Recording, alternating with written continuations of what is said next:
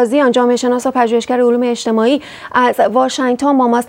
آقای قاضیان به نظر می‌رسه که اعتراض ها در ایران به صورت تناوبی تکرار میشه و شاید مسئله ای که سالهای قبل اتفاق نمیافتاد الان هر تصمیمی که مخصوصا به معیشت افراد معیشت مردم ارتباط داره باعث میشه که جرقه زده بشه و مردم به خیابون ها بیان. همینطوره. ما تناوب بیشتری رو در این ارتباط می‌بینیم و همونطور که شما گفتید کاملا مرتبط هست با مسائل عینی و چیزهایی که مردم در به صورت روزمره ازش رنج می‌برن که اقتصاد و وضعیت اقتصادی شاید مهمترین اونها هست. ولی همه اینها بر بستر یک نارضایتی گسترده و انباشته تلمبار شده و هر از گاهی بیرون می‌زنه و در واقع بهانه میشه یا جرقه میشه. مثل این بار که در واقع افزایش قیمت بنزین عین بنزینی بود که روی اون آتش خشم فروخورده ریخته شده باشه و یک بار شعله بر بشه. و با توجه به دو تا خصیصه اصلی جامعه ایرانی در تمام این لاقل یک زده اخیر که یکی از مهمتریناش کسری مشروعیت رژیم های سیاسی است میشه حد زد که یک موضوع خیلی ساده مثل به اصطلاح افزایش قیمت بنزین ممکنه تا یک جای خیلی پیچیده مثل تقاضا برای برافتادن یک رژیم سیاسی هم جلو بره. به نظر شما چرا معمولا این گونه اعتراض ها ادامه پیدا نمی‌کنه؟ در ایران امروز هم قبلا هم در برنامه گفتیم با توجه به تهدیدهایی که وزارت اطلاعات کرد و صحبت که آقای خامنه ای کرد شاید به نظر می رسید که اعتراض ها متوقف بشه. فعلا هنوز ادامه داره. ولی مثلا در اعتراضات دیماه چند سال پیش دیدیم که بعد از مدتی اعتراضات فروکش کرد و همینطور اعتراض های قبل از اون. هر کدوم رو باید با صورتهای متفاوت و به دلایل متفاوتی توضیح داد که چرا تداوم پیدا نمی‌کنه. ولی شاید یک دلیل بنیادی که زیل همه اونها قرار می‌گیره و بتونه اونها رو به صورت مشترک توضیح بده چند عامل. اولیش مسئله گستردگی تقاضاهایی است که برای تغییر وجود داره.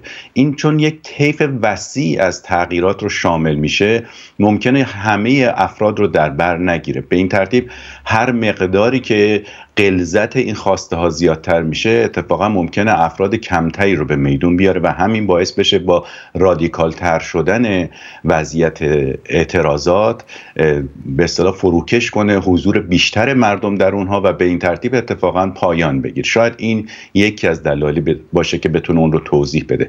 عامل دیگه در عین نارضایتی وسیعی که وجود داره که بنا به گفته مقامات دولتی از هر چهار نفر ایرانی سه نفر دست کم ناراضی هستن از اوضاع و هر از گاهی به همین ترتیب در واقع اعتراضات خودشون رو نشون میدن. این اعتراض و این نارضایتی همراه هست با نوعی نگرانی و از طرف دیگه نظام سیاسی هم سعی می‌کنه این نگرانی رو تشدید کنه. امروز هم در سخنان آقای خامنه ای مطلب بود. که این وضعیت ناامنی ایجاد می‌کنه. و گاهی اوقات گزارش های شما می‌بینید که ماموران دولتی در ایجاد این ناامنی مثل حمله به بانک ها شکستن شیشه مغازه یا اتومبیل ها شرکت دارن برای اینکه این ناامنی رو بزرگتر جلوه بدن و مردم رو از اون ناامنی که میترسن و در کشور همسایه دیدند نگران و حراسان بکنن و اونا رو از پیوستن به تظاهرات باز بدارن. نکته دیگر مسئله سرکوب شیوه و اندازه سرکوبی که جمهوری اسلامی به کار می‌بره بسیار متنوع و به مرور بسیار هوشمندانه تر شده و ابعادی رو در بر گرفته که مردم از عواقبش میترسن و نگرانن. گذشته از اینکه به نظر نمیاد یک چشمانداز روشنی هم برای جایگزین وجود داشته باشه که اگر قرار باشه که جایگزینی وجود داشته باشه آیا اون جایگزین لزوما از موقعیت کنونی بهتر هست یا نه؟ شاید این مجموعه چیزهایی است که در ذهن مردم میگذره و باعث میشه که اونا به صورت مداوم در خیابون ها نباشند. شما به اعتراضات به کشورهای دیگه اشاره کردید. چه تفاوتی می‌بینید بین اعتراضاتی که هر چند سال, چند سال یک بار هر چند وقت یک بار در ایران رخ میده و اعتراضاتی که در کشورهای دیگه رخ داده هر از گاهی حتی منجر شده به استعفای دولت یا به برکناری حاکمان کشور؟ همونطور گفتم اینجا اگر نگاه بکنید ما شاید غیر از روسیه تنها کشوری باشیم که در یک صده دو تا انقلاب اجتماعی تمام کمال داشتیم و در بین این دو تا انقلاب سالهای زیادی نگرانی و تزلزل حکومت ها از خیزش مردم چه در دوران پهلوی چه در دوران رژیم جمهوری اسلامی. یعنی هر واقعه کوچیکی گاهی اوقات می‌تونه تا سرانجام به اصطلاح پایین آوردن پرچم و عکس و مجسمه پیش بره می‌تونه به اشغال کاخ شاه یا به بیت رهبری هم منجر بشه.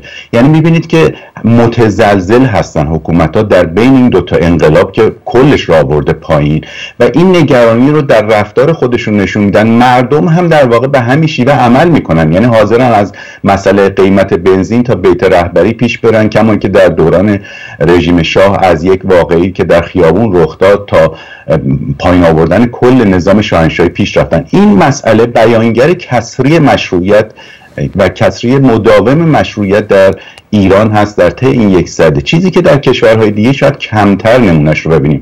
چه در کشورهای دموکراتیک چه در کشورهای کمتر دموکراتیک. یعنی در لبنان شیلی بولیوی در عراق در فرانسه در جاهای مختلفی. شما این اعتراضات رو که جنبه جنبشی داره بیرون از ساختارهای سیاسی صورت می‌گیره می‌بینید. اما هیچ کدوم اونها به کل رژیم سیاسی راجع نمیشه. حتی در جاهایی که رژیم سیاسی هم به شیوه ناگوار داره فعالیت می‌کنه. مثل لبنان و عراق. ولی در ایران به دلیل این کسری مداوم مشروعیت همیشه شما روبرو هستید با این وضعیت که ممکنه یک مسئله سنفی بکشه به یک مسئله سیاسی و از لحاظ سیاسی بکشه به کل ماهیت یک رژیم سیاسی. به همین دلیل هست که ما یه تفاوت بنیادی در این ماجراها می‌بینیم. در اینجا بالا رفتن پایین آمدن دولت ها مهم نیستن چون حکومته که در واقع مورد هدف است. کما که در نظام شاهنشاهی دیدیم وقتی دولت عوض شد دولت شریف مامی آموزگار بختیار اومد تغییری در اون خواسته ها نداد. الان هم گمان نمی‌کنم مثلا فرض بکنید تغییر دولت روحانی تغییری در اون خواسته هایی که گاهی اوقات تا پایین آوردن کل یک حکومت میره بسیار تأثیری گذاشته بشه.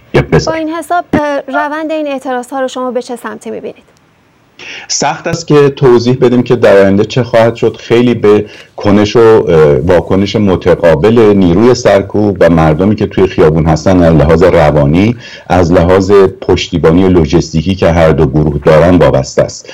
اگر من به نظرم می‌رسه که توان و اراده سرکوب در جمهوری اسلامی کماکان وجود داره. رهبری هم امروز برش تاکید کرد. مهارت سرکوب هم وجود داره. اگر امکانات لوجستیکی این سرکوب وجود داشته باشه و از لحاظ روانی تزلزلی وجود نداشته باشه باید حد زد که این سرکوب تداوم پیدا می‌کنه. بنابراین باید به مرور شاهد فروکش کردن اعتراضات باشیم به این شیوه که وجود داره. مگر اینکه صحنه به دلالی که ما الان برامون نامشخصه تغییر کنه و اون فشار روانی باعث تزلزل نیروی سرکوب و از دست رفتن اعتماد به نفسش برای سرکوب بشه و به این ترتیب مخالفان بتونن کار خودشون رو پیش ببرن.